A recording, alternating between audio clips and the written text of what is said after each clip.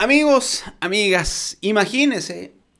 Bueno, yo le pregunto, antes de arrancar con la información, yo le pregunto, ¿qué, qué enseñanza o, qué emoción o qué sentimiento le dejó a usted la alianza del PRI-NRD, esta alianza del PRI, PAN y PRD, en este pasado comicio eh, electoral? ¿Qué enseñanza le dejó?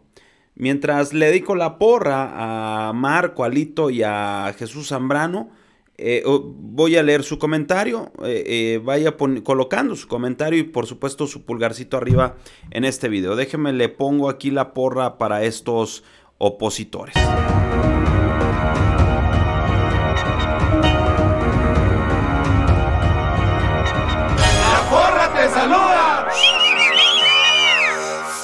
Bueno, pues ahí está prácticamente para los tres. Marco Cortés, Alejandro Moreno eh, y este otro Jesús Zambrano. El PRD de plano ya anda recogiendo migajas. El PAN, bueno, pues hay lo poquito que les puede ayudar de perdido con el presupuesto del PRD, dice bienvenido. El PRI, pues de igual manera anda buscando a ver dónde, dónde ocurre algo eh, que puedan sacar ventaja, ¿verdad? Ahí está el asunto. Imagínese, el mismo, el mismo senador del PAN, Gustavo Madero, dice que de la suma de Alejandro Moreno, de Marco Cortés y Jesús Zambrano, no surge nada. Con esto no van a lograr salvar a México, al contrario, van a lograr una catástrofe. ¿Qué dijo el senador? Vamos a escuchar. Eh, si yo hago y meto en una licuadora a Marco Cortés, a Alito y a Zambrano, y dices, de ahí voy a sacar al Superman para salvar a México, pues creo que no, más bien saldría un Frankenstein y no un eh, capitán. Ahí está Gustavo Madero, amigos, quien pues se ha notado inconforme. Y aunque bien sabemos, Gustavo Madero, bueno, pues gente muy allegada justamente a Javier Corral, a un gobernador de, Chihuahua, y que, bueno, ellos buscaban esta, estos amigos, pues son amigos, ellos buscaban que Gustavo Madero fuera el, el candidato en el Estado Grande. Sin embargo, no fue posible. Maru Campos eh, se mueve, no lo deja llegar y están molestos, aunque tiene toda la razón, el pueblo está en contra de eso, el pueblo dice no, que lo dejen, ellos son los mejores dirigentes que pueden tener en este momento cada uno de los partidos. Con esto le van a seguir ligerando la chamba al proyecto de la cuarta transformación. Alejandro Moreno Tibio, él ya aseguró sus plurinominales. Marco Cortés, bueno, pues ahí sigue en el PAN. Eh, aunque Alejandro Moreno pues piden ya prácticamente que deje la dirigencia nacional. Eh, Marco Cortés también algunos panistas molestos. En el caso de Jesús Zambrano, pues el PRD ni quien lo pele. Yo creo que ni en su casa saben que existe todavía el PRD y mucho menos que hay un dirigente nacional, ¿verdad? Pues criticó, criticó a esta alianza de Va por México por los bajos resultados, amigos, ¿verdad? Gustavo Madero se les fue ahora sí que con Tokio a estos líderes de oposición en una conferencia de prensa.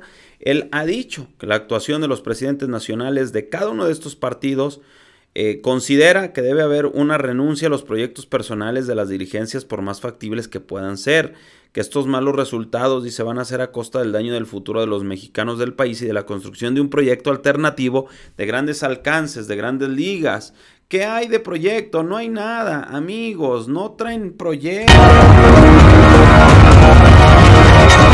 Ni un solo proyecto tienen, amigos, estos. Gustavo Madero, mira, aquí está justamente lo que colocaba en un Twitter. El bloque 4T disminuyó 27 escaños respecto al 2018. Los votos sumados de Morena, PT y Verde suman 281, suficiente para aprobar el presupuesto y las leyes. Si hubiera sido elección presidencial, hubieran ganado al obtener 24, 24 eh, millones de votos contra 22 millones mm, del bloque opositor. O sea, prácticamente dice, nos ganaron doblada, nos la dejaron ir estos vatos nos pusieron en cuatro para que hicieran con nosotros lo que quisieran. Están molestos, pero el pueblo está contento y los quiere para otro, otro trienio como dirigentes nacionales. El presidente Andrés Manuel López Obrador señala que sus adversarios están muy menguados para el 2024 y que no tienen a nadie.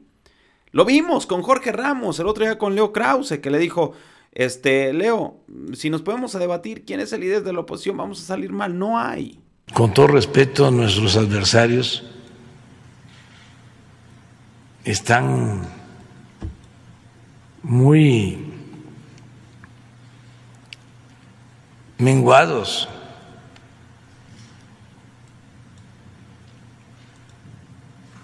No tienen eh, eh,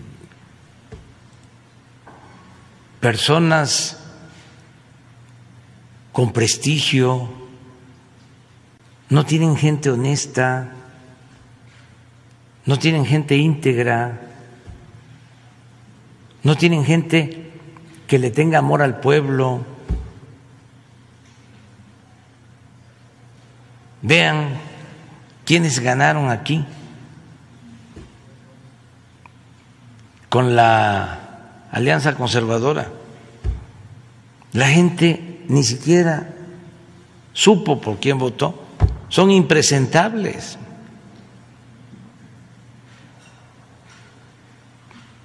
Fue el coraje porque los envenenaron con la guerra sucia.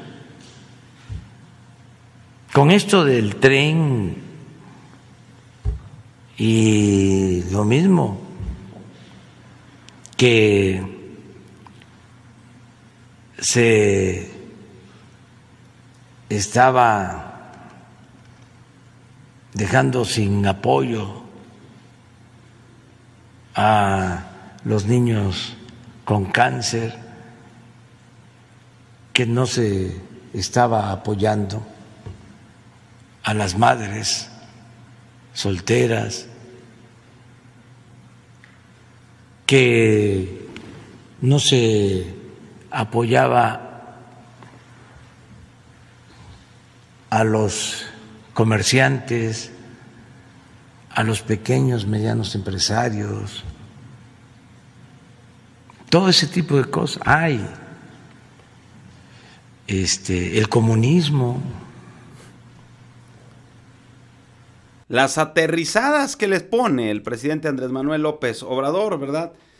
Afirma Gustavo Madero que los votos que ganaron en esta elección fueron a causa mm, de todo lo que tienen la gente en contra de Morena. Incluso los votos que obtuvimos no fueron por nosotros, fueron anti-Morena, fue por el miedo y el odio que se ha venido sembrando y que es que gacho que voten por ti por eso. Yo le llamo el fenómeno de Keiko Fujimori de Perú. Sí. la gente se dividió y se dijo, oye, vota por Keiko. Pues no porque fuera una fregonería, Está acusada de muchas cosas, incluso de corrupción. Claro. Pero los que tenían miedo que ganara Pedro Castillo, creo que se Pedro, Pedro Castillo, sí, el profesor este, Pedro Castillo. El profesor, decían, espérate, pues, entonces hemos llegado los partidos a, a un, a, una trampa, a ponerle a los ciudadanos, obligarlos a que elijan entre algo malo y algo menos malo. Sí. Así estamos.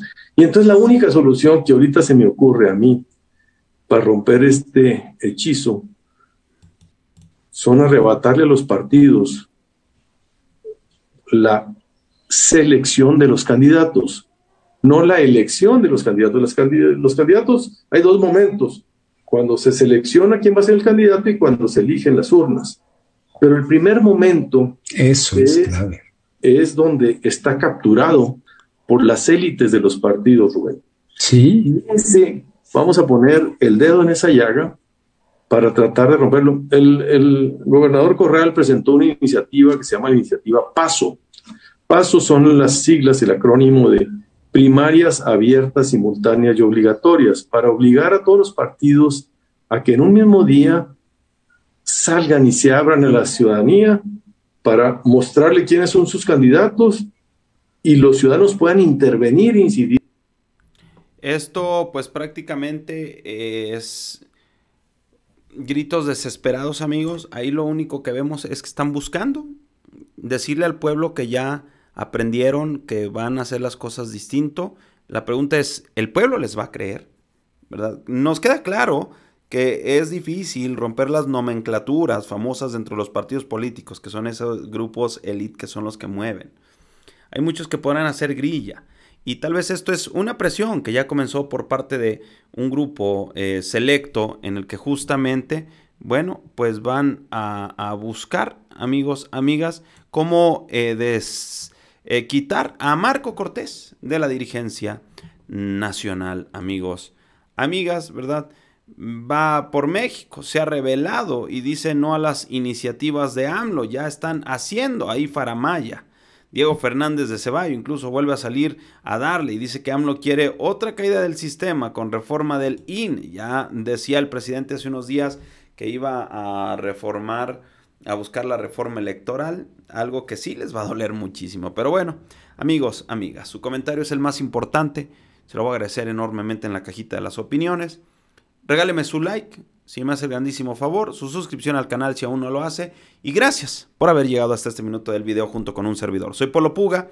Cuídese mucho. A nombre de toda la producción, que siga disfrutando de su día. Sin más que decir, nos vemos en el siguiente video. Adiós.